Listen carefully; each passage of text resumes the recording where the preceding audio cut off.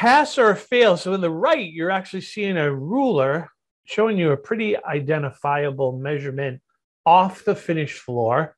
For those of you don't know, you're looking at the rough-in for a kitchen sink, center of the drain for the kitchen sink, off of the floor. You got a range of like three inches going on.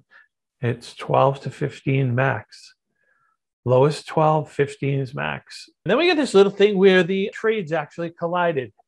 I look at this, you know what? And I took this picture for a couple reasons because the finish carpenter is going to have a hell of a time getting the trim around that freaking window with that plug box right there. There was a lack of communication going on here between the plumber and the electrician. We got to communicate. We need to talk to each other. It's not whoever gets there first, even though that does happen. It shouldn't be happening because as an inspector, you walk into that job and you go, oh, just great. This is just great. Pass or fail and the reason why. So it's really, really close.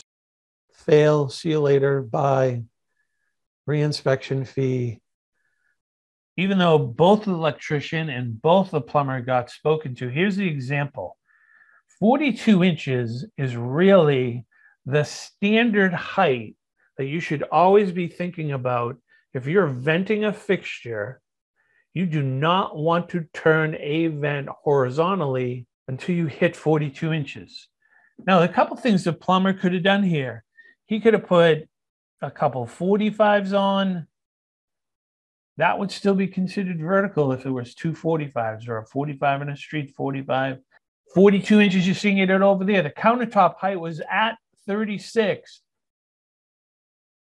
Got to pay attention to what's on the finished floor all we're trying to get you to do is make sure you don't violate the code by doing it. But every time you're doing something with this, getting you to think about the flood level rim of the fixture and making sure that you're seeing that on the rough. Most inspectors picture what's going there. They know where the flood level rim is going to be. Some cases they're going to be asking you, especially when it's a lavatory, is it a self rimming lav? Is it a under the counter lavatory? Or is it a vessel sink, which sits on top of a countertop? Because now, rather than having the vent at 42, it's probably going to be somewhere up around 52 when you put a vessel sink in. Vessel sink sits on top of a countertop. Looks like an old wash basin.